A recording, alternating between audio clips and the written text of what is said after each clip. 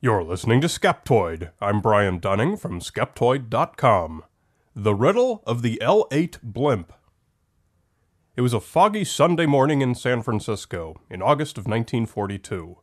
The United States was at war with Japan, and coastal defenses along the western coast of the U.S. remained on high alert for prowling Japanese submarines. A daily chore in San Francisco was a sortie by a naval blimp to look for subs outside San Francisco Bay. Today's flight of the L 8 started no differently, but the way it ended has kept people talking for more than 70 years. Unlike a rigid airship, a blimp is just an inflated bag with no structure to help it keep its shape. Only a few hours after it left, the craft was seen drifting in from the ocean, sagging terribly into a V shape. Some swimmers at the beach tried to grab it by its hanging control lines but failed. It bounced up the cliffside, dangerously dislodging one of its depth charges and stopping both its engines in the process, and continued its aimless drifting over the San Francisco peninsula. Soon it became entangled in some power lines and finally came to rest in the middle of an intersection in Daly City. As bystanders ran to help, the mystery became immediately evident. There was nobody on board. The obvious suggestions came right away. Perhaps the men fell out. Perhaps they jumped out, either to commit suicide or to go AWOL. Maybe they got in a fight and threw each other out.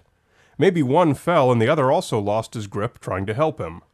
Maybe they had found a Japanese sub and were forced to jump out at gunpoint. Nobody could really come up with any better guesses than these, and still, to this day, the Navy hasn't either. The L 8 had been a Goodyear advertising blimp until it was turned over to the Navy for the war effort. It was a solid ship with a strong history and no real problems, and had successfully managed severe weather in the past. Its mission today was its usual daily patrol to launch at 6 a.m. from Treasure Island, a large flat man made island in the middle of San Francisco Bay, and from there to fly a large figure eight pattern outside of San Francisco Bay. The pattern went straight out to the Farallon Islands, a group of rocky prominences 50 kilometers out into the Pacific Ocean from the harbor entrance. From there, they were to head for Point Reyes, about 30 kilometers north, and then about 65 kilometers south to Montara, a point south of San Francisco, and then back up to the Golden Gate and land at Treasure Island.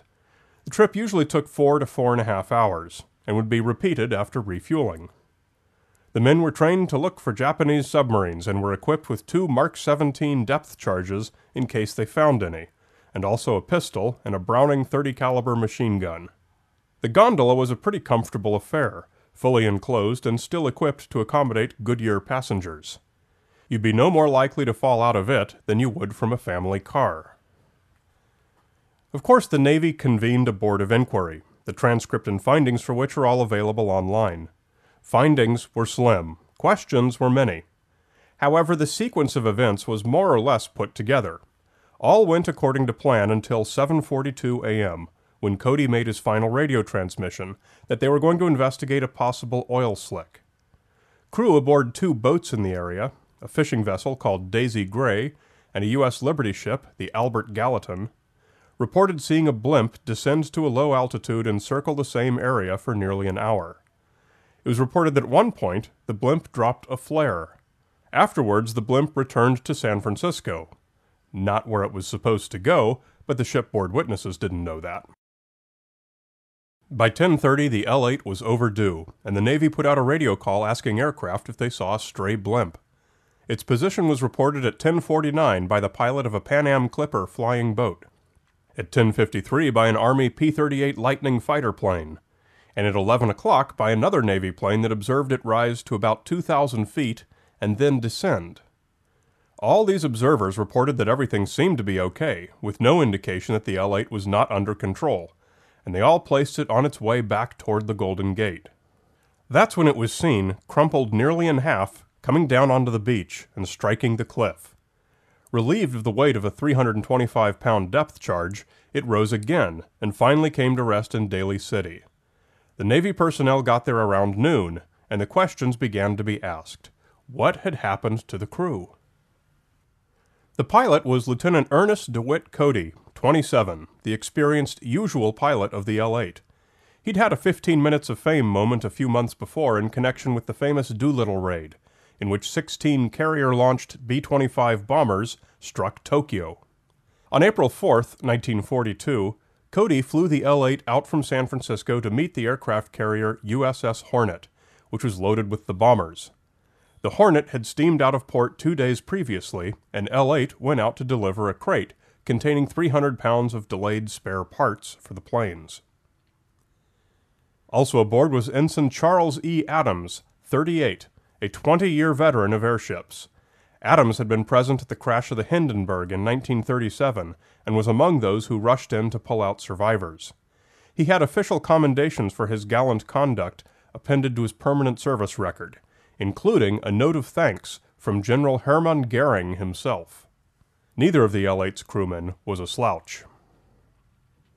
The condition of the L 8 when it came down only served to deepen the mystery. There was plenty of weight still on board, including fuel, that Cody and Adams could have jettisoned if they were in any trouble, and no indication that they'd tried to do so. Everything on board, including three parachutes, a life raft, tools, etc., were still stowed precisely where they should be. Although both engines had been stopped and were slightly damaged when the L 8 first struck the cliffs, the fuel and ignition to both were still on. Its radio was functioning and set to the proper frequency. Of all the items still on board, the most remarkable was a briefcase of classified documents, which Lieutenant Cody had carried on as was done every day. The briefcase was heavily weighted, and standing orders were for the briefcase to be thrown overboard into the ocean in the event of any emergency. Evidently, no emergency had taken place. What was missing, on the other hand, were two of the five water activated smoke bombs the blimp carried, called Mark IV float lights.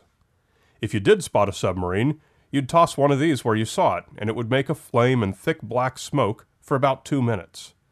This is almost certainly what was observed by the witnesses on the boats. Relieved of the weight of two crewmen, the blimp would have risen until it reached its pressure height altitude, which was between 2,100 and 2,500 feet on that day. An automatic vent opened to release helium to keep the blimp from bursting, and it descended. So its appearance of being sagged into a V shape was exactly as expected. One of the most talked about pieces of evidence is the door. L8 had a single side door, which was always safety locked from the inside during flight, and was confirmed to have been so by the ground crew. But at the crash site, the door was open, and not just opened, it was opened all the way so that a catch gauge, which held it open. Other pilots testified that it would be virtually impossible to do this from inside during flight.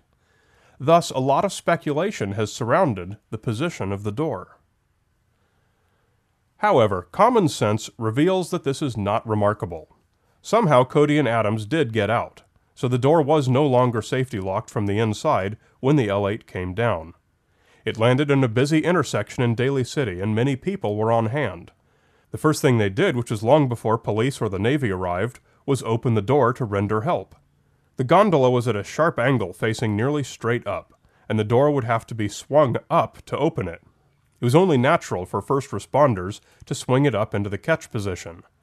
It would have been more surprising if the door had not been in this position by the time the Navy arrived. There are some popular hypotheses and retellings of what happened to be found on the internet. Some suspect that a stowaway may have been on board, who perhaps overpowered Cody and Adams. But this is impossible, as the gondola is quite small with no possible place for anyone to hide.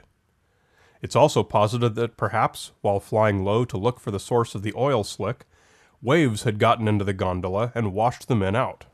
But the L 8 had definitely not come into contact with the water, as proven by hollow spaces in the bilge of the gondola and the lower fin both being bone dry and containing dust which would have been washed out.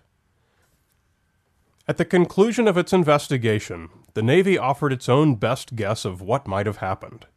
Somehow, Ensign Adams opened the door and fell out. Maybe he was airsick, maybe they were horsing around, maybe he was just trying to get a better view of the oil slick. Who knows? Lieutenant Cody tossed out the float lights to mark his companion's position, then circled low, and perhaps upon finding him, stopped the engines. In some circumstance, while single handedly trying to control the blimp and retrieve Adams, Cody fell out himself. I can't think of anything that better fits the evidence. Perhaps deploying the life raft for Adams would have taken one hand more than Cody had available, and it's not surprising that making a radio report was lower priority than saving your buddy's life. But the simple fact is that we don't know, and we can't ever know exactly what two men did in that small car over the Pacific Ocean on that grim day. It's consistent in every way with an honest accident. There's no foul play, no Japanese submarine, no alien UFO abduction, nor anything else extraordinary needed to explain which could just as easily be explained by a single moment of human inattention. We can't know the circumstances, but we do know that Cody and Adams ultimately slipped beneath the waves. And for that, we have for them today a few lines of the naval aviator's hymn that they knew so well. Guard and guide the men who fly through great spaces of the sky. Be with them traversing the air in darkening storms or sunshine fair. Writing and producing this show is not just a hobby, it's my full time job. Just as you depend on a new show every week, I depend on your monthly micropayment. If you're not already a supporter, please come to Skeptoid.com and click on Support Skeptoid and see just how quick and painless it is to make this a two way street for both of us for many years to come. You're listening to Skeptoid. I'm Brian Dunning from Skeptoid.com.